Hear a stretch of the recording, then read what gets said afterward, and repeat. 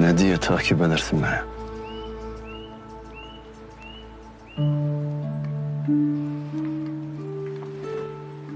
Akça Hatun'la konuşmaya geldim.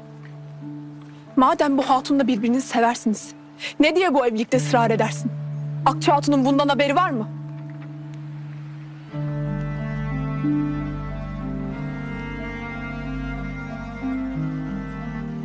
Haberi yok. Tam tahmin ettiğim gibi.